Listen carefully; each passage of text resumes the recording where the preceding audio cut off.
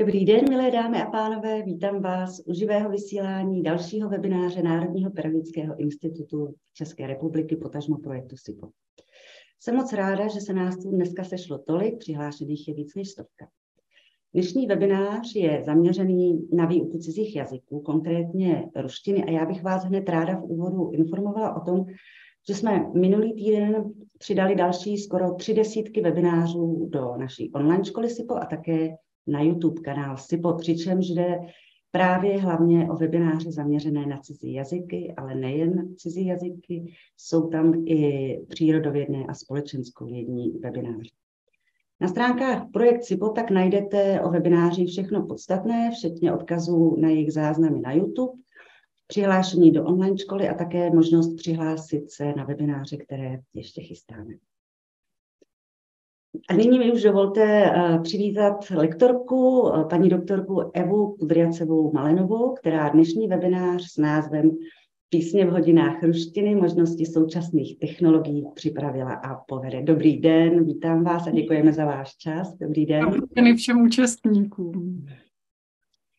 Uh, já si na úvod, jako obyčejně, dovolím vás stručně představit protože vy jste absolventkou oboru Němčina a ruština na Filozofické fakultě Masarykovy univerzity v Brně, kde jste také dokončila postgraduální studium z ruské literatury a pedagogické minimum prostřední školy. Od roku 2005 se věnujete výuce takzvaně na volné noze, ale řešíte i soudní překlady, připravujete například novou učebnici ruštiny pro samouky pro vydavatelství Linga. Předtím jste deset let pracovala na Pedagogické fakultě Masarykovy univerzity na katedře ruského jazyka a literatury a tam byla vaší doménou ruská literatura pro děti a mládež, kurzy ruské literatury a jazykové kurzy pro začátečníky. Byla jste také Ruské centrum tamtéž, které organizuje kulturní a vzdělávací akce pro školy a veřejnost a od února letošního roku učíte na Filozofické fakultě Masarykovy univerzity překladové semináře pro rusisty. A kromě toho jste členkou České asociace slavistů a České asociace učitelů češtiny jako cizího jazyka. Dlouhodobě se věnujete přednáškové a lektorské činnosti nejen v České republice, ale i v zahraničí.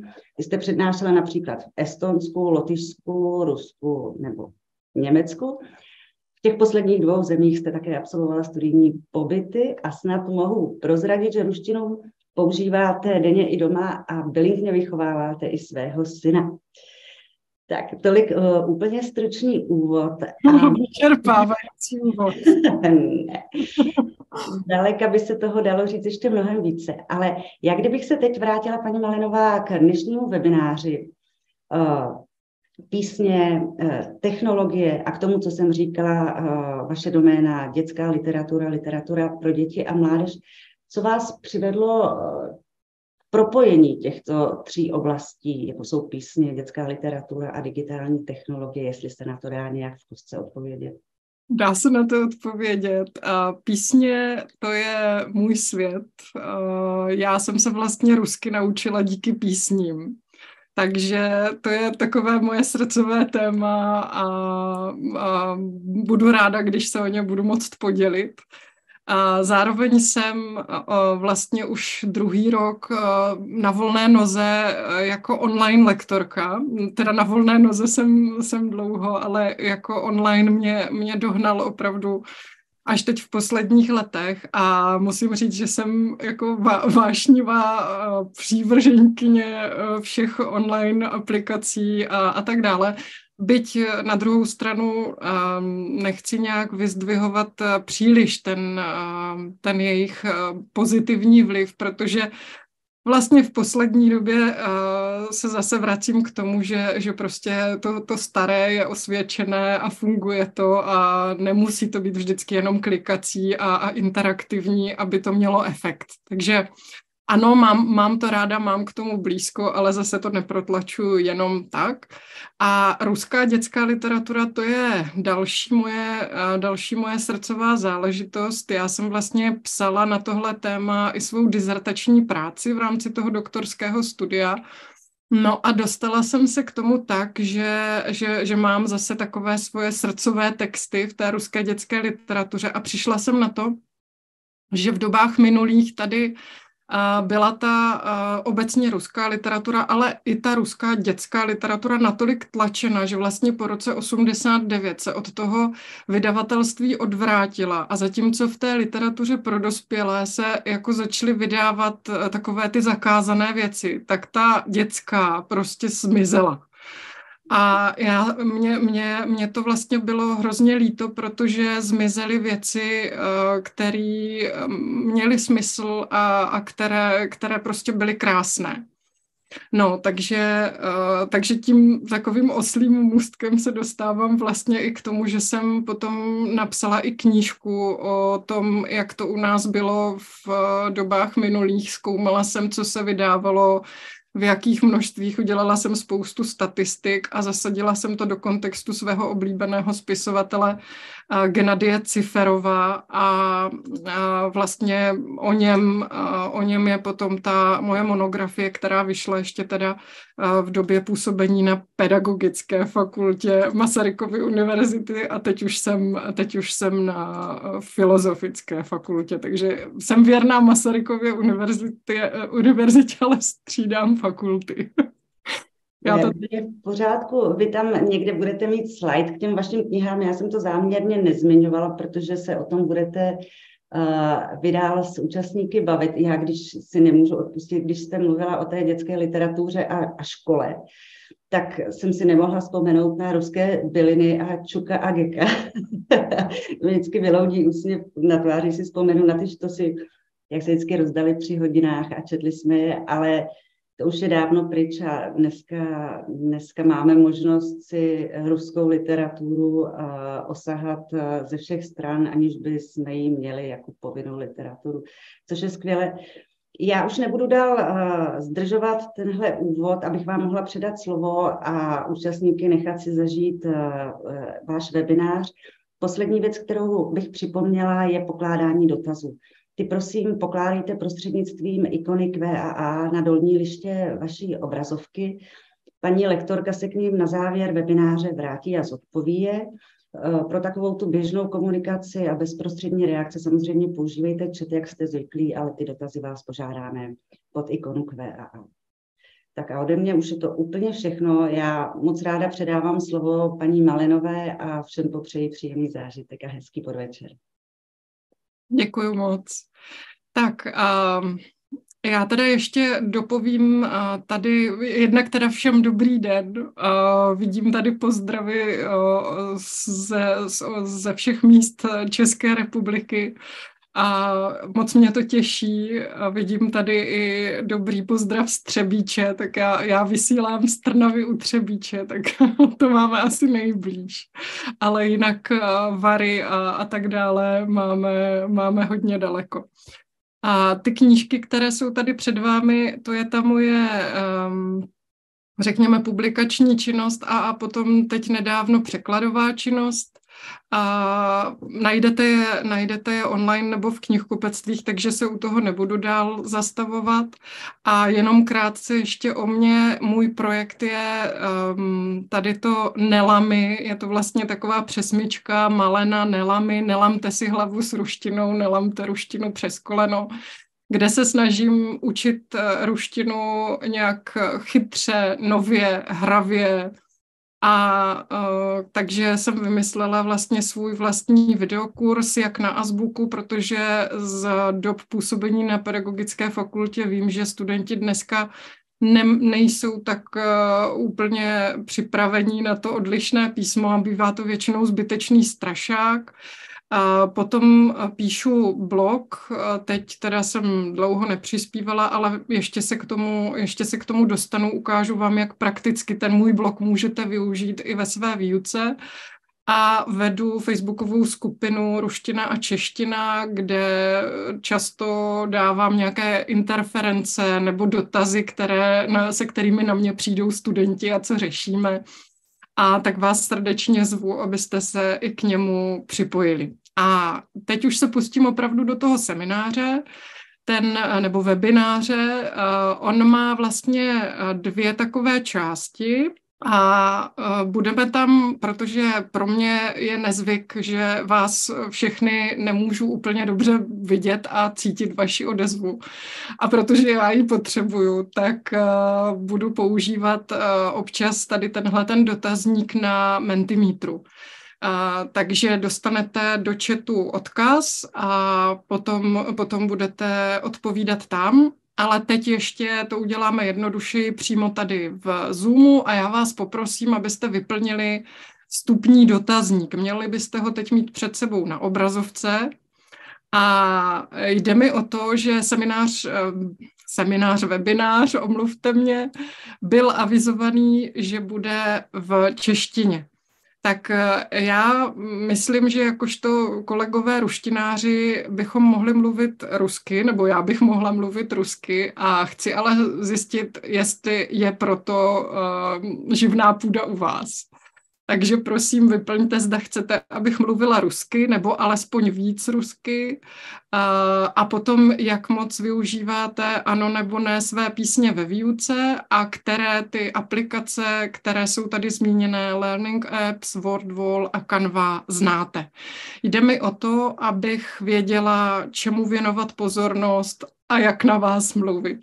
Takže prosím, zaklikejte každý svoje od, odpovědi teď. Já si teď nejsem jistá, jestli uh, už máme odpovědi, nebo volám, volám technickou podporu. Odpovědi se plní 65 z 90. Jo, takže ještě, ještě, ještě klikáte. Tak já, já, já все-таки перейду на русский уже. А, а может быть, сейчас опять перейду на чешский. Так, уже видим результаты. То есть, да, вы хотите, э, чтобы я больше говорила по-русски, но все-таки есть люди, которые меньше хотят. Ладно, э, не все будет, значит, на русском. А песни на уроках использую, используете 66%. И а, tak, um, jenom já tady teď nevidím, uh, já tady teď nevidím, pane Fejfere, můžeme rozklíčovat tu trojku, abych viděla, uh, jaké zastoupení některých těch aplikací. Jo, už vidím to. Takže nejvíc, uh, jo, děkuju. Uh, nejvíc znáte WordWall, nejméně znáte Learning Apps a Canvu. Dobře. Tak, uh, bezva. Uh, значит, uh, давайте начнем. Сначала начнем теоретической частью, то есть uh, песни на уроках. Uh, co dělají a proč je vlastně použít. Uh, argumenty jsou dva. Jedno je samozřejmě to, že to tu výuku zpestří, ale to druhé je, že ji zefektivní. Abychom to zpestřili, nemůžeme to použít zase mm, v každé hodině. Abychom to zefektivnili, musíme vědět, jak na to. A moje otázka je, písně ve výuce, proč ano? A teď přijde první Mentimeter, kde můžete opravdu sami psát svoje odpovědi. Dostanete teď do chatu odkaz a prosím, abyste se tam a prosím, abyste se tam přepli, jako to teď udělám já. A vyskočím, vyskočím tady z prezentace. Tak. A přepnu se do Mentimetru.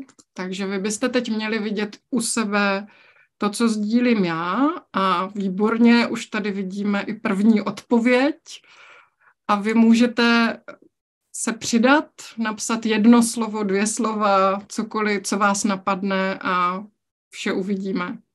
Отлично, kolegy píšu ty по-русски. Uhum. Takže máme tady kaníkuly, to znamená kaníkuly, moja семья bych Ozvláštnění. Anglicko-ruské je tam odpověď. To by mě, to by mě pak zajímalo. A jakože ruština předpokládám s anglickým překladem. Aha. lidové písně, B2. Kombinují se nám tady odpovědi konkrétních písní a vlastně i ty, i ty argumenty. Já jsem se zeptala na, na dvě věci najednou. Takže uh, to takže začnu to, začnu to zhrnovat, když ono se to tak jako neustále mění, že a, dva, dva, čtyři, mhm. Uh-huh. Katiuša, jestli u vás ně, tu těti, jasně. A nechám na vás, abyste si proče, pročetli, a vlastně to jsou typy i pro vás navzájem, a sdílení toho, co vám, a co vám funguje. Jsou tady jak od takových těch umělých, dětských, že jo, brěmenské muzikanty, a mílinky ty můj, až po souča a ka, ka, Kaťuša, která je teda taky umělá, ale dávná, až po až po prostě současné interprety a, a zpěváky, grupa zvíry a tak dále. A jsou tady argumenty.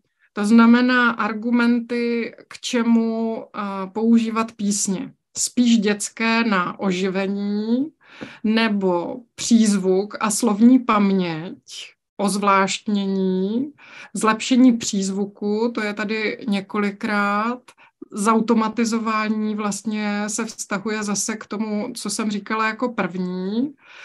A zlepšení přízvuku, to je tady nejčastěji asi současné, zatím nic, zatím nepoužívám. Tak jo, na ostrově Tajíti. Dobře. Rolničky, aha, tak a písně z multiku, no to je dobrý typ, ano, z těch kreslených filmů ruských je, eh, je, je spousta věcí. Tak, zastavím, zastavím hlasování nebo zastavím, zastavím tady um, vaše odpovědi, odpovědi. V podstatě uh, jste odpověděli uh, tak jak, jsem, uh, tak, jak jsem očekávala. To znamená, já to mám tady pro vás už shrnuto v odpovědích. A pojďme se podívat, proč písně ve výuce stojí za to používat. Jak jste už psali, jde o nějaké odreagování, o zvláštnění, nemůžeme ho samozřejmě používat úplně často. Zmiňovali jste kontext, ale vlastně i nějakou automatizaci. To znamená uh, automatizaci slovní zásoby, automatizaci frází, gramatiky, Hodně jste zmiňovali přízvuk, ale ono to vlastně je spojené s celou tou zvukovou stránkou jazyka, který je postaven na nějaké větné melodii, na rytmu, na artikulaci a tak dále. Nezapomínala bych na reálie, které v těch písních také jsou a mnohdy je hodně potřeba vysvětlovat, proč to tak v té ruštině je a proč ne. A vlastně to může být i jakási aktivizace a motivace těch studentů. A, a samozřejmě těch důvodů, proč ano, můžeme najít mnohem víc. Так, то есть это причины или аргументы за, почему, да, почему использовать, а, jak, pro koho a jak je používat. Když máme slovní zásobu, musíme se s ní nějak poprat, protože studenti tu slovní zásobu většinou nemají. To je словарный запас надо объяснять. Можно использовать изображения, можно использовать какие-то рисунки, фотки и так далее. Можем просто э, сделать толкование, то есть объяснить э, то, что я сейчас говорю на, на иностранном языке, на русском языке. Или можем сделать перевод. Это основные вот три э, метода. Конечно, это связано с тем, для кого вы песню хотите использовать. Э, pro začátečníky asi můžu míň vysvětlovat uh, v cizím jazyce a budou se víc hodit obrázky a případně nějaký překlad. Uh, reália a kultura v v písních. A jde vlastně o ten, o ten přístup k té výuce. Teoreticky zase dělíme na to, co můžou ty písně přinést, na tedy skupinu nějakých kognitivních znalostí, tedy že se dozvídáme fakta, můžeme, může jít o nějaké komunikativní situace, kdy prostě reagujeme v ruštině nějak jinak, a vlastně jde i o nějaká konverzační témata, řekněme. A může jít o srovnání naše versus vaše. Podle toho samozřejmě je potřeba vybrat i ten správný, toho správného zpěváka nebo skupinu a, a tak dále. A písně ve výuce vlastně nám můžou uh, suplovat uh, všechny, ty, uh, všechny ty části uh, znalosti cizího jazyka. To znamená, trénují jak, trénujeme jak poslech, tak čtení, tak mluvení. V případě nějakého doplňování vlastně trénuje, trénujeme i psaní. То есть слушание, чтение, говорение, письмо, э, все, все можно параллельно и, и вместе использовать. Так, песня ve výuce na co pozor? То есть какие аргументы можно м, сказать, можно применить против Почему не стоит песни применять на уроках русского языка или вообще на урokах iностранного языка? Přepnu se zase do Mentimetru, ale tentokrát a, tak a tentokrát ale potřebuju do druhého. Proč nepoužívat písně ve výuce? Tak, to je zase ta vaše chvíle. Odkaz kde můžete odpovídat zase, máte v chatu, pozor, není to ten předchozí odkaz, takže v chatu, když rozkliknete, najdete tam najdete tam aktuální odkaz, který když rozkliknete, tak můžete rovnou psát svoje odpovědi. Argumenty proti použití písní ve výuce. to je krásné. Zpívám jen v sebeobraně. Samozřejmě to je, to je velmi vtipně komentováno to, že vlastně použití písní ve výuce je velmi uh, nekomfortní pro některé studenty. Ne každý rád zpívá a pro někoho může být píseň ve výuce úplnou noční můrou, to je kašmárem. A to bychom asi měli mít na paměti, když eh, vytáhneme, vytáhneme písně v hodinách. Um, ze zkušenosti myslím, uh, že tak, jak jste tady zastoupení v tom širokém spektru od základních škol až po gymnázia a vysoké školy, že uh, možná čím menší děti, tím um, pozitivnější ještě vztah k tomu, k tomu zpívání, ale potom už e, u těch pubertáků to může být jako hodně těžké. Pak bych u, pu, u pubertáků zase mm, znáte, asi narazíte na to, že nemůžete úplně použít do nějakého, do nějakého věku, když už jsou za věcí, e, nad věcí, že, že nemůžete použít ty třeba dětské filmy, a, a už se to tady objevuje. Mají slušit только rap. To znamená, uh, jde o žánr. Jo? Nelíbí se žánr uh, válka na Ukrajině. To je velké téma. A ano, válka na Ukrajině zamíchala samozřejmě i s těmi interprety a tím, na které straně vlastně um, stojí ten, který interpret.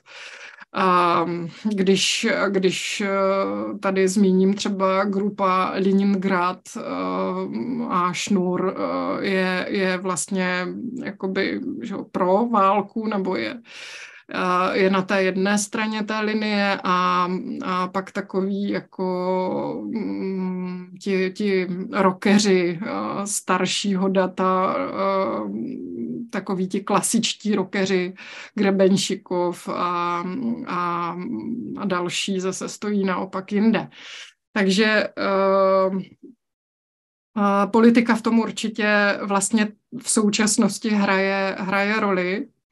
Stydlivost žáků, někteří žáci nechtějí, a nejsem hudebně založená, určitě to může být, nebo to je, to je vlastně a zpívám falešně a zpívám jen v sebeobraně. Já zpívám taky falešně a, a ale tady bych chtěla zdůraznit, že oni studenti nemusí zpívat a oni mohou v těch hodinách jenom uh, klidně i šeptat nebo mluvit.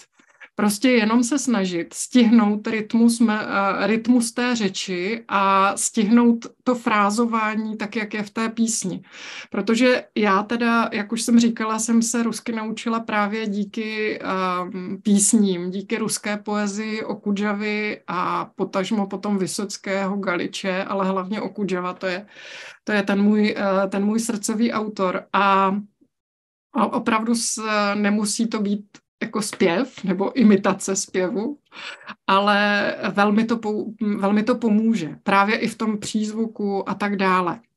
A potom možná sáhnout i po tom repu nebo, nebo těch současných uh, žánrech, ale samozřejmě tam už budou potom jednak složité texty a jednak, uh, jednak uh, to bude v rychlejším tempu, ale i s tím se můžeme poprat. Takže nejčastěji tady je stud, ostych, čas, správně zvolená píseň, to je taky, ano, kůmšt, a ještě o tom budeme mluvit. Vulgarizmy. Ano, je to tak a o tom taky ještě se zmíním. A neznání metodiky nechtějí dělat nic jiného. To znamená, že nechtějí dělat nic jiného než písně, předpokládám. To je zase druhý extrém. Jo, Dobře, a učitel nezná současné, tak to dneska vyřešíme, tenhle problém, protože dostanete ode mě minimálně spoustu typů, kam sáhnout. Těžká slovní zásoba, komplikované texty, jo. Tak jo, uzavírám, uzavírám hlasování a přenáším vás zpět do prezentace, kde mám pro vás zas připravenou odpověď. Na co si dát pozor? Tak, vlastně tady opakuju to, co i vy už tam máte.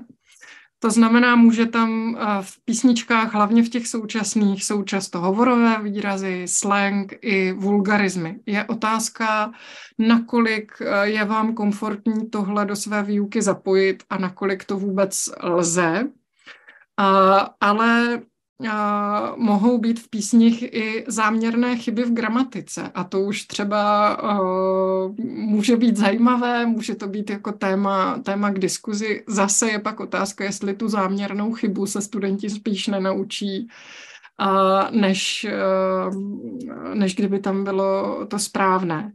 Já vypichuju ještě neaktuální lexikum, protože zvlášť eh, u těch eh, starších a lidových písní, eh, stejně jako je to třeba u lidových pohádek, potom musíte vysvětlovat, že ta slova se třeba už nepoužívají. Ale může vám to posloužit pro fonetické dovednosti a znalosti. Uh, může být nějak uspůsobený rým, to znamená, může dojít k nějakému posunu, třeba i přízvuku a tak dále. Uh, pokud používáte zvuk bez videa, tak to může mít taky jiný efekt, než když použijete to, to video. V některých případech jde o zvláštní výslovnost, kdy ti interpreti buď prodlužují, dost je slyšet moskevské ákání, to zase můžete na to, na to upozornit, ale častěji bývají problémem nějaké spolknuté hlásky, kdy vlastně je to ale výzva zase pro studenty, aby se v tom vyznali, aby to slyšeli, je to trénink toho sluchu. No a asi jeden uh, z největších problémů jsou pak autorské neologizmy, když prostě ten autor vymyslí něco, co neexistuje.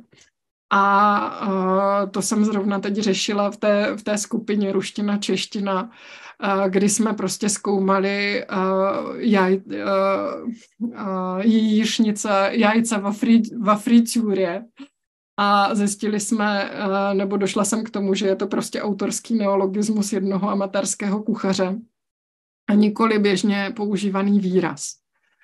Tak, a vy máte k dispozici už dvě zpracované knížky ruských písní, dva zpěvníky, kde je velká zásobárna toho, co můžete použít. A já vám k tomu dnes ukážu, jak to můžete ještě třeba připravit studentům online, anebo co online lze využít už jenom tak. Tyhle dvě knížky, pokud se nemýlím, jsou k dispozici. A asi je bez problému dohledáte, takže se u nich nebudu zastavovat. Při výběru písně je velmi důležité, jaký sledujeme cíl. On souvisí s tím, co už jsme říkali, tedy zda prostě potřebujete jenom nějaké krátké odlehčení, nebo chcete studentům něco předat z kultury a reálí, nebo máte nějakou slovní zásobu či konkrétní téma. Um, jak vypadá ideální píseň do výuky jazyka? Uh, máme samozřejmě různé druhy písní. Podle toho už se můžete orientovat. Takže už jsem zmiňovala, nebo i vy jste zmiňovali ty písně lidové. Oproti ním samozřejmě stojí ty písně umělé, to znamená ty, které mají autora. A ještě jsme zmiňovali ty takzvané dětské písně. U všech jsem už mluvila o nějakých specifikách, ale eh, když bychom řekli, že umělé písně jsou asi pro ty dospělejší studenty více stravitelné, protože je tam aktuálnější lexikum, protože nebudou mít problém eh, s tím, že jsou to písně pro děti, které mají eh, nějak jednodušší strukturu a tak dále, tak se pojďme podívat, jaká by měla být ideální píseň do výuky jazyka. Jakou, jaký by měla mít formát a jaké vlastně požadavky bychom na ní měli mít. Tak, vymyslela jsem toho poměrně dost, protože jednak nám jde o melodii. Melodie by měla být poměrně jednoduchá, měla by být líbivá a měla by být zapamatovatelná, protože melodie vede rytmus a celou tu výpověď. A pokud nebude melodie pro toho studenta zajímavá, tak se k té písni nebude chtít vrátit. A to je to, co je důležité, protože uh, ideálně, abyste si chtěli něco zpívat, musí se vám to líbit. A ta hudba je toho součástí. Text. Jak už jste psali, text by měl být dostatečně jednoduchý, zároveň by měl mít komunikativní obsah, to znamená, asi úplně nepotřebujeme, aby se tam jednalo o nějakých carských dekretech a měly by tam být prostě běžné obraty. A pak záleží také na nahrávce, protože měli bychom mít normální nebo pomalejší tempo, zvlášť pro začátečníky. Ten interpret by neměl mít nějak pokaženou výslovnost a zároveň ta nahrávka, instrumentální doprovod prostě ne, nezahltí to, ne, nepřebije prostě ten, ten text, ten zpěv. Není toho málo a já jsem uh, vlastně se pokusila, se pokusila o něco takového a dala jsem zadání Alexeji Kudrjavcevovi, jak už jméno napovídá, je to můj manžel, který je písničkář a chtěla jsem po něm, aby vytvořil takovou pro mě ideální píseň do výuky jazyka. Za chvíli se s vámi podělím o tom, o to, jak se mu to povedlo. A ještě je pak otázka, jak s písní ve výuce pracovat, a protože um, i když sledujeme nějaký cíl, tak uh, musíme uh, zvážit, zda budeme po studentech chtít, aby píseň sami zpívali, s čímž, jak uh, už jste mi potvrdili, má většina studentů velký problém. A opět doporučuji šeptání a nebo i, nebo i mluvení a úplně stačí. Nemusím, nemusím nikoho nutit do toho, do toho zpěvu. Pak je otázka, co vlastně použít. Jestli dát nejdřív český překlad, A to znamená, že studenti tu ruštinu vlastně mm, jenom sledují, ale mají před sebou český překlad. Nebo zda učitel nejdřív tu ruštinu přečte a studenty nechá, aby si ten text sami přeložili. A nebo zda třetí přístup, nejdřív necháte proběhnout tu, či, tu píseň v ruštině a potom se zeptáte, co z toho ti studenti uh, chytili. Všechny tři přístupy uh, jsou, řekněme, adekvátní, ale záleží na tom, jak vy znáte svoje studenty a aby nebyli třeba frustrovaní z toho, že prostě tam nezachytili vůbec nic a to se pak dá samozřejmě ještě zachránit tím textem a můžete z toho udělat výzvu. Typy cvičení. A tady mám zvlášť opravu chyb, protože sama nejsem úplně zastáncem opravy chyb. Mám zkušenost, že jakmile chybu napíšu, tak se ji studenti stoprocentně naučí. A sama jsem teda ten typ, že, že co, co vidím napsané, tak se to naučím. A, takže já jsem spíš zastáncem doplňování, kdy jsou vynechaná nějaká slova a ten student je vlastně musí dopsat, což jde krásně dělat i online. A za chvíli si to ukážeme. Otázky k textu, případně v, v začáteční, u začátečníků s nabídnutými odpověďmi, nebo správné řazení slok, případně řazení slov, Zase k tomu se krásně dá využít WordWall, který ve většině znáte. A hledání slovního druhu, a to znamená, můžeme to vzít čistě gramaticky a můžeme si nejdřív projet, najděte všechna adjektiva a teďka jako mm, opravdu jet gramaticky určování, a doplňování potom do dalších cvičení a tak dále přiřazení písně k obrázku, to se hodí hodně na začátku, anebo hledání synonym nebo antonym. Všechno, všechno to ještě uvidíte. A teď se s vámi chci podělit o svou vlastní práci. To je na mém blogu, to je na моем блоге вы найдете песню, то есть не, не только на моем блоге, конечно, найдете песню группы ДДТ. А, и Это новая песня, которая возникла как раз, э, по-моему, в марте прошлого года, уже после начала войны, называется «Небо поле». A tohle je pro mě uh, taková ukázka práce s chybou, protože já jsem tu píseň objevila, ona mě velmi oslovila uh, a a vlastně tady jsem zpracovala na tom blogu takové typy pro samo studium, když někdo chce použít písně pro učení jazyka, učení se jazyka. Uh, takže tady mám takové jako svoje typy, uh, jak postupovat a co se třeba osvědčilo i mým studentům. Ale uh, to klíčové je teda samotná ta píseň, kterou si odsud můžete rovnou pustit a potom uh, takové další materiály, jednak uh, doplňovačka, kterou mám zpracovanou tady na té platformě Learning Apps, uh, kterou tedy zná asi jenom 30% z vás. Uh, je to úplně jednoduchá, neplacená platforma, kde si každý může vytvořit svoje cvičení a je velmi jednoduché, vlastně jenom tam nahrajete z YouTube to video, video. Napsala jsem tady zadání a pak jsem tam skopírovala text té písně a ta práce funguje tak, že když já jak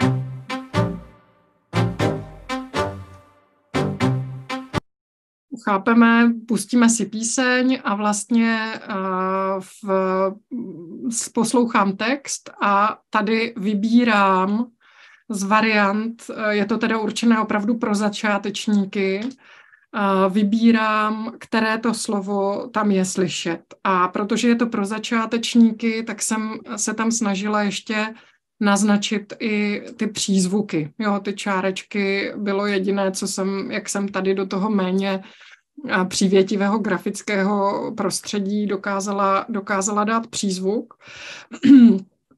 Takže to je jedna možnost práce a druhá možnost je uh, už práce s tou chybou a s pokročilejšími studenty, kdy vlastně jsem zjistila, že ta píseň uh, koluje na internetu, protože já si vždycky hledám text písně, i když um, s ruštinou nemám problém, a zjistila jsem, že ta píseň koluje na internetu ve špatných zápisech, ve špatných, ehm, se špatnými texty.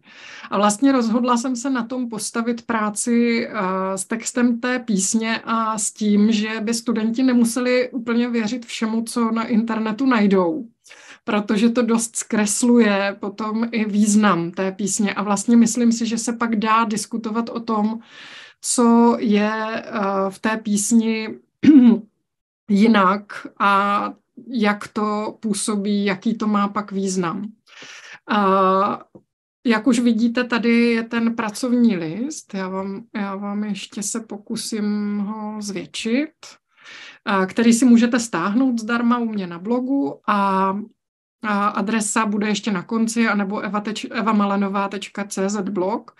A vlastně tady je to srovnání, ta špatná verze s tou dobrou verzí, kdy studenti ale na základě poslechu mají poznat, která ta verze je vlastně správně zapsaná.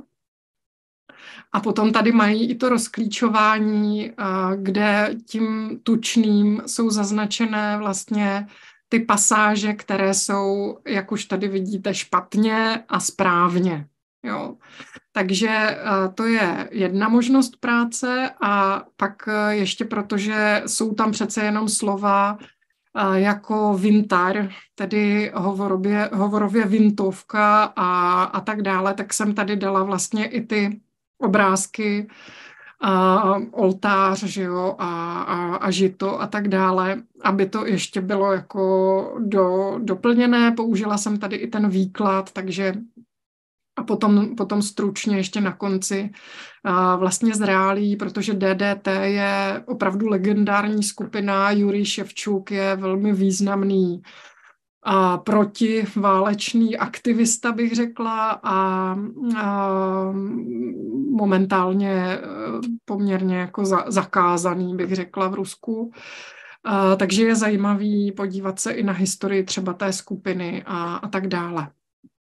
Tak, můžete ale pracovat vlastně s písní i tak, že necháte studentům vyznat se v tom textu, a nebo, nebo ano, vyznat se v tom textu a necháte je potom vlastně vymýšlet třeba scénář nějakého klipu, to znamená, oni si přečtou text a protože je to poezie a každý chápeme tu poezii nějak jinak a myslím, že mladí momentálně k té poezii mají hodně daleko, tak eh, je to vlastně ještě jiná výzva než, eh, než, jenom, než jenom ruština a písně, ale i porozumění té poezii a vlastně a vyzkoušet si nějaké jiné dovednosti. Jo. Tak, tak, takže jako vymyslet prostě scénář, jak by mohl vypadat klip, No a uh, potom samozřejmě se můžeme společně uh, podívat i na tu doplňovačku, nebo každý zvlášť si může udělat tu doplňovačku a diskutovat o tom, co tam je. Tady máte i QR kód, takže mohli jste si to teď, uh, nebo můžete si to teď vlastně i vyzkoušet úplně uh, úplně hned sami na sobě, ale to vám uteče to, co budeme mít dál. Tak, tady je ta moje píseň na objednávku, jak jsem říkala, a Alexej Kudryavcev, já ani znáju tebě. Moje zadání bylo, že potřebuju píseň pro začátečníky, a potřebuju, aby v té písni bylo privět, paká, zdrástvuj, dasvidáňa, potřebuju tam časování slovesa. Znáju, znáješ, a, a úplně prostě základní slovní zásoba. Pojďte se podívat, jak to dopadlo. Takže я не знаю тебя, ты не знаешь меня, мы не знали друг друга вплоть до этого дня. Я скажу тебе здравствуй, ты мне скажешь привет. Если внимательно слушать друг друга, то невозможного нет. Я читаю Толстого, ты слушаешь регги и блюз. Мы хорошо понимаем друг друга, но я немножко боюсь. Jak už jste jistě pochopili, je to a, jakéhosi, a, řekněme, a, barda nebo, nebo a, bluesmana, možná to potom bude lépe pochopitelné i z té písně, když ji poslechnete. Ты работаешь утром, я работаю днем. Жизнь музыканта весьма утомительна. Мы очень поздно встаем. Очнешься с утра в понедельник, а вторник уже пролетел. To bylo ještě jedno moje zadání, aby tam byly dny v týdnu. Среда, четверг, пятница, завтра суббота, опять выходной беспредел. Нам незачем думать, нам можно валять дурака, Tomu jsme se neubránili, nebo uh, spíš Alexej se tomu neubránil, aby tam nebyl tenhle frazeologismus, ale budiš, je to zase aktuální. Nám možno для счастья выучить всего только два языка. Но после «спасибо, пожалуйста» пошла череда неудач. Иди своей маме, пожалуйста, от непонимания поплачь. Лишь зная реальность ответа, возможно о чем-то спросить, сломать эти языковые барьеры и даже пытаться любить. Но мы слишком ленивы, и это, увы, на века. Я скажу «до свидания», ты мне скажешь «пока». А, Myslím, že do ideální písně to má určitě daleko. Jazykové bariéry, valit duraka, to znamená dělat, eh, dělat hloupého a znája se tam prostě dostal přechodník a tak dále. Nicméně píseň má poměrně velký úspěch. Zpracovala jsem ji zase na platformě Learning Apps takže vám a задание vlastně dvojí. Как вы думаете, о ком эта песня и кто по профессии главный герой? To znamená, otázky k textu jsou tam hned v tom zadání. A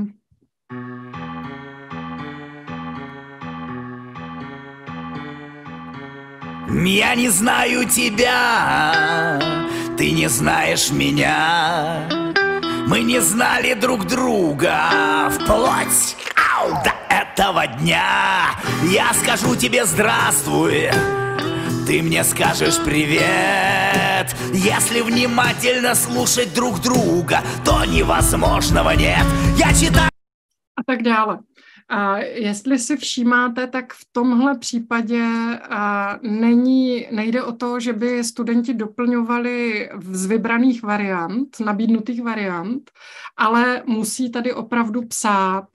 To znamená, musí mít správnou klávesnici, což je samozřejmě výzva, ale s pomocí um, translitu a, a všech možných zlehčovacích stránek to není problém a vlastně na konci zmáčknou jenom tady to tlačítko a zeleně se jim vysvítí to, co napsali správně a kde měli chyby.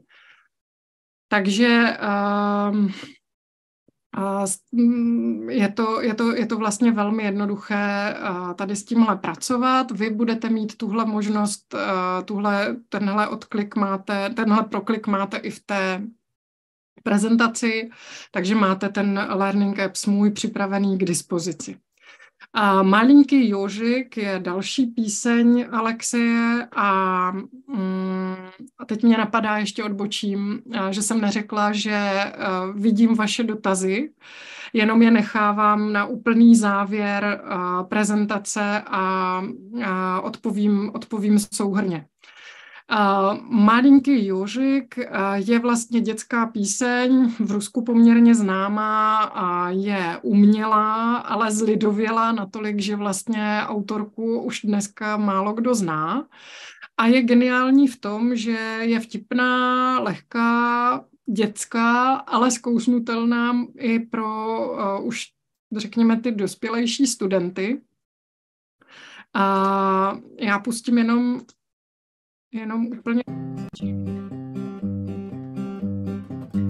Маленький ежик, четвероножек, На спине листок несет и песенку поет.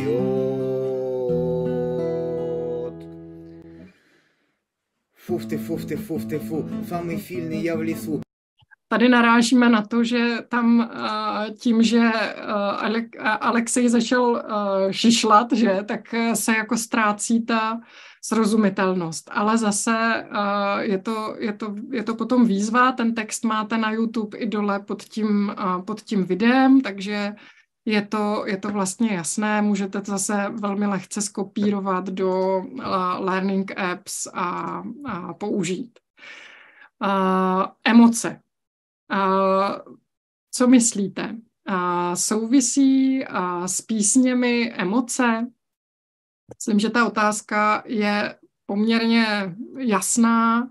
Pokud se mi něco bude líbit, tak uh, si to budu pouštět, budu, budu to poslouchat a samozřejmě o to nám jde. Takže vzbuzení vlastně těch emocí je žádoucí. A, a samozřejmě nejlepší je asi ten, ten humor. Tak, já se dostávám už k té úplně nejpraktičtější části toho, na co čekáte. A skvělá stránka je, a možná znáte, Lyrics Training, ale tam bohužel není ruština. Ale existuje vlastně taková varianta téhle stránky, a to je Lyrics Gaps. A tady když se teda přihlásíte jako ne z tohohle odkazu, ale úplně poprvé, tak si tady musíte nahoře vybrat vpravo nahoře ruštinu. A pak vlastně můžete vybírat podle toho, zda chcete, aby to byla střední obtížnost nebo lehká a jakou, a jakou skupinu vyberete. Jsou tady jak uh, úplně ty aktuální, tak i starší. Vypadá na první pohled, že jich málo, ale když, jestli jste si všimli, jsem teď dala Show More a teď se mi rozklikne, že tady je i ta klasika, že opust всегда bude slunce a, a tak dále. Ale mezi tím uh, jsou tady i právě zvíry a, a současní, uh, jo, tady třeba je zvíry, tak já je rozkliknu a, tak a, ehm, a teď, teď vidíte, že tady je spousta, tak kde to jsme, co jsem to rozklikla. Ještě jednou. Jo, teď jsme v tom správném a ještě teď si vlastně můžu vybírat, jestli opravdu chci uh, tu písničku pro začátečníky a krom teda děsných reklam se nám tady objeví i mm, verze k tisku a nebo ta online klikací, kdy to funguje tak, jak jsem vám už ukazovala na Learning Apps, že student doplňuje z vybraných možností a k tomu si tu písničku pustí tady takhle. Зайчик, я тебе обязательно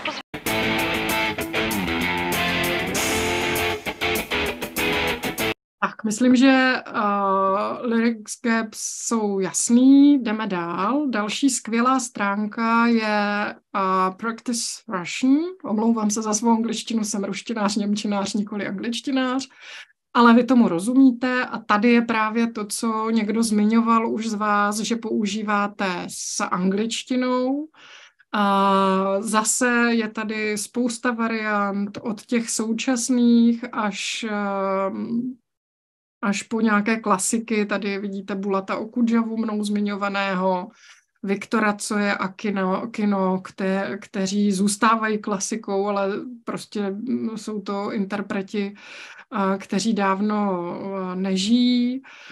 A, jo, oproti, a, a oproti tomu je tady glukóza a, a prostě další, další další interpreti. Zase funguje to velmi intuitivně, to znamená rozkliknete, máte tady text, tady už teda není, nejsou žádné doplňovačky, tady je opravdu jenom text a k tomu si můžete pustit ten, ten klip. Tak, Další stránka je odkazem na knižní publikaci, která je ale velmi zajímavá protože si myslím, že studentům přece jenom ten ruský rok nemusí být zas až tak úplně vzdálený.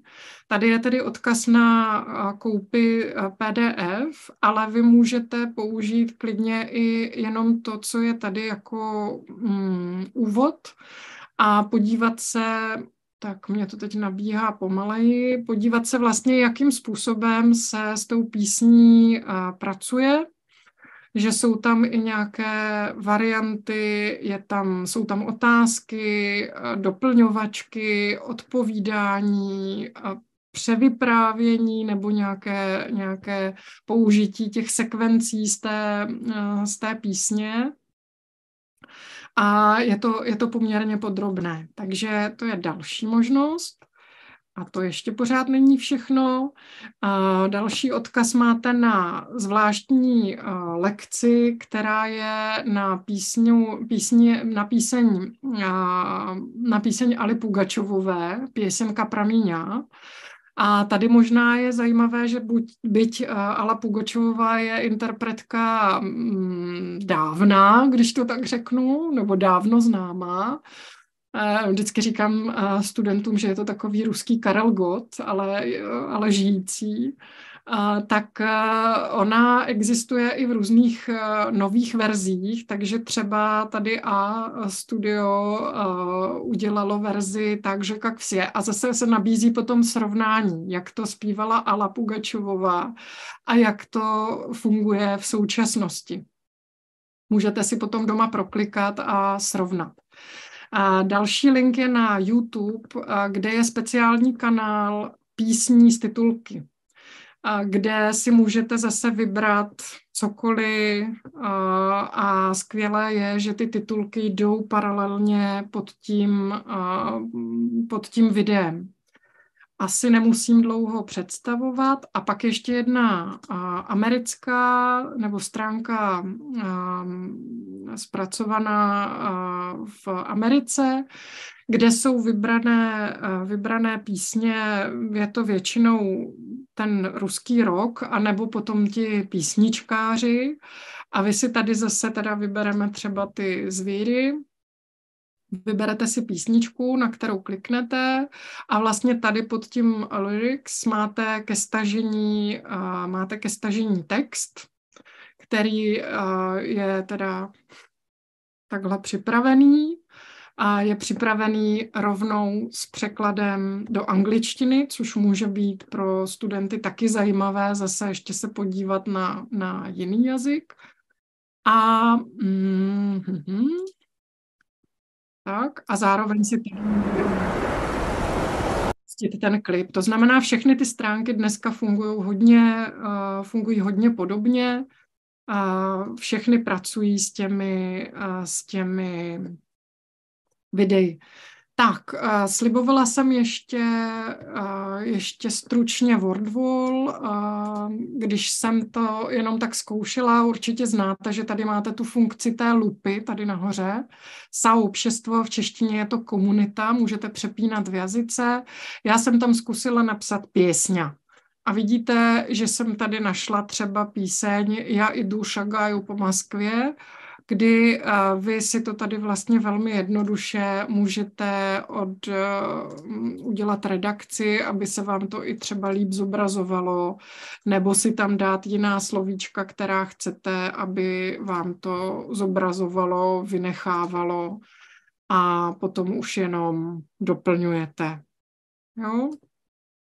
Tak, zase na konci, eh, na konci vlastně se dozví student správnou odpověď. Existují tady velké možnosti, eh, co se týče těch šablon a, a toho, jak to použít. Já velmi ráda používám kanvu, ostatně i tady tahle prezentace, kterou teď ukazuju, je vlastně v programu Canva, ale to by bylo na úplně zvláštní povídání a nám už jde teď o čas.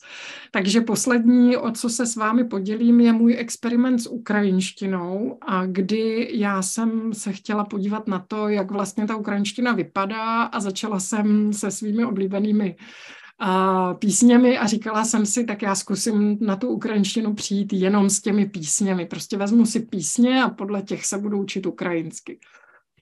A, a můžu vám říct už odpověď na tu otázku, jestli to jde úplně bez učitele, tak byť umím velmi dobře rusky, umím česky, chápu ukrajinštinu a přečetla jsem si nějaké poučky, tak to bez učitele prostě nejde, protože to neslyšíte.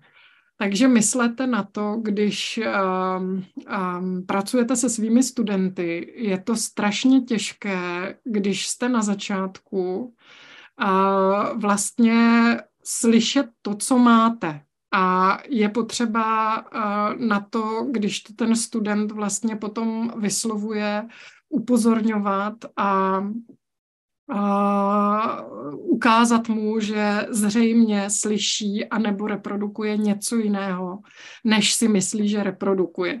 Protože já jsem to potom konzultovala s jedním známým a říkala jsem, no ale teď já to říkám. A on mi říkal, ne, ty říkáš něco jiného, ty říkáš tohle.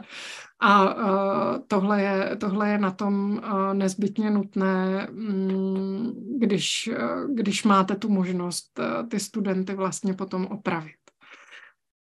Najdete na konci prezentace i použité zdroje a já vás ještě chci vybídnout ke spolupráci, protože chystám projekt, ve kterém budu pracovat nebo připravovat práci s uměleckými texty ve výuce ruštiny, ne tedy už čistě s písněmi, a byla bych, byla bych ráda, kdybych našla nějaký testovací vzorek, kdybyste třeba chtěli potom ty moje materiály použít, otestovat a dát mi zpětnou vazbu. Takže pokud o, to, o tuto spolupráci máte zájem, budu ráda, když mi napíšete na třeba evazavináč evamalenová.cz nebo u mě na stránkách taky ty kontakty najdete. Tak, ale ještě se s vámi neloučím, protože právě teď přichází váš čas, čas pro vaše otázky a odpovědi. Tak, já jsem v zápalu uh, nakonec zapomněla přecházet do té ruštiny, tak davajte, uh, davajte, já odkroju, uh, já odkroju uh, vaprosy. Tak, první, první otázka Dobrý den, jaké dětské spisovatele byste doporučila? Ještě vidím nějakou zvednutou ruku, jsem tady zaznamenala, tak taky uh, dojdem, dojdeme k vám.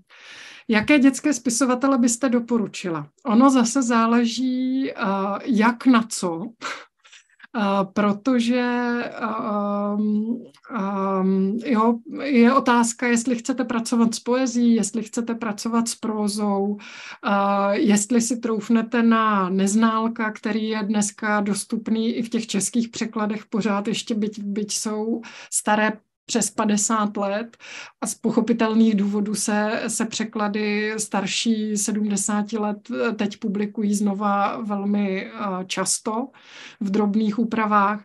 Já osobně miluju, um, miluju toho Gnadie Ciferova, kterého jsem zmiňovala, a miluju takové ty hravé věci, to znamená Eduard Uspenský, a Grigory Ostěr, ale zase tam už jde o jazykový vtip, o slovní hříčky. Um, jo, je to, je to velmi specifické, pokud uh, asi, je, asi, asi tohle je na zvláštní webinář, takže jestli máte zájem o webinář dětská literatura v hodinách ruštiny, tak, tak napište na NPI nebo mě a, a, a vymyslíme to zvlášť. Doufám, že jsem aspoň něco odpověděla. А как вы оцениваете спрос на русский язык в чешских школах? Спрос упал или спрос на русский язык вырос? Спасибо. Uh, no, uh, musím říct, že nemám plošně přehled z mnohých uh, vzdělávacích institucí, ale mám uh, zkušenosti nebo znám uh, reakce asi ze tří míst uh, v České republice, a ten zájem padá, velmi silně padá. To je spros na ruský jazyk падает, sпрос на украинский язык растет. Так, kolegyně, bývalá kolegyně se ptá, хотела бы спросить, есть ли в аудитории преподаватели русского, которые работают в гимназиях и в средних школах Чехии, используют песни и стихи на уроках русского. Ищу участников для своего диссертационного исследования, посвящен, посвященного использованию песен и стихов в гимназиях и средних школах. Буду рада любым контактам. Takže Táňa, Táňa Savčenko momentálně působí na VŠE v Praze, jestli si dobře pamatuju. A v rámci uh, svého doktorského výzkumu potřebuje najít učitele uh, středních škol a gymnázií, kteří by měli zájem zapojit se do jejího výzkumu. Takže tímto zprostředkovávám, a zprostředkovávám ten kontakt a možná ho můžeme i přes NPI poskytnout potom přes Národní pedagogický institut poskytnout i dodatečně. Tak, a jsou v současné době nějaké možnosti navštívit země Rusko nebo víza se nevydávají? Studenti se často ptají, jestli jsou nějaké programy výměny studentů, něco jako Erasmus+, ale v Rusku. No, uh, já osobně tohle vnímám jako, uh, jako problematické. Uh, Mm, nechci nikoho zrazovat od eh, cesty do Ruska. Rusko je podle mě momentálně poměrně aktivní. Když se podíváte na Institut ruského jazyka nebo eh, další fungují letní školy a tak dále, v tomhle, řekněme, tom akademickém světě se provoz nezastavil. Druhá otázka je, že eh, ten, kdo je státní instituce, musí být poslušen nařízení z hora, když to tak řeknu. A já osobně bych po tréninku ruštiny sáhla třeba po, po Baltí nebo po dalších bývalých zemích Sovětského svazu. Mám zkušenost, že třeba v Lotyšsku je ruština velmi dobře zastoupená je tam, je tam spoustu Rusů, takže se tam mluví rusky. Co se týče dalších programů výměny, asi vám, asi vám úplně fundovaně, fundovaně neporadím, ale ani, ani ohledně, těch, ohledně těch víz, já se přiznám, že jsem to, že jsem to ani nezjišťovala, ale určitě se víza nějakým způsobem vydávají a myslím si, že asi i ta studentská se, se vydávat budou. Je otázka pak, jestli tam, jestli tam pak ty studenty chceme poslat. Tak, to jsem vyčerpala teďka otázky z toho k, VAA, co je dole na liště. Takže um, teď ještě jsem tam zahlédla někde nějakou zvednutou ruku, Jestli to bylo omylem, tak uh, už ji nezvedejte, ale jinak dole vlastně uh, máte také možnosti, jak se přihlásit. A potom vám můžeme dát, aktivovat i mikrofon a, a, a video. Ještě se podívám do chatu. Tady máme, děkuji moc, děkuju taky.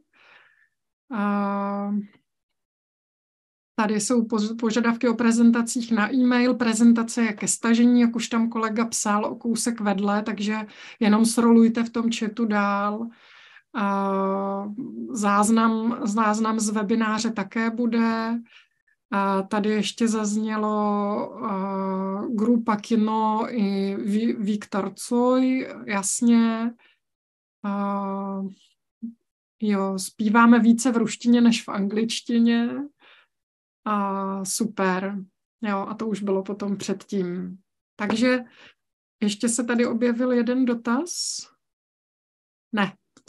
Všechno, všechno zodpovězeno. Pokud máte nějaké dotazy, máte teď poslední možnost je položit. To je poslední šanc zprasit.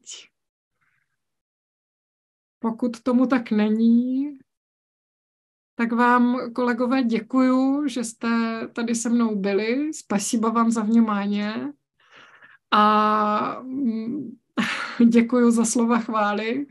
A budu ráda, když mi napíšete a budeme moct nějak třeba dál spolupracovat nebo mě budete sledovat. Přeju vám hodně zdaru a, a hodně motivovaných a pozitivních studentů, kteří chápou, že ruština je sice politikum, ale není to politika. Hezký večer, всего доброго и до свидания у, может быть, следующего вебинара.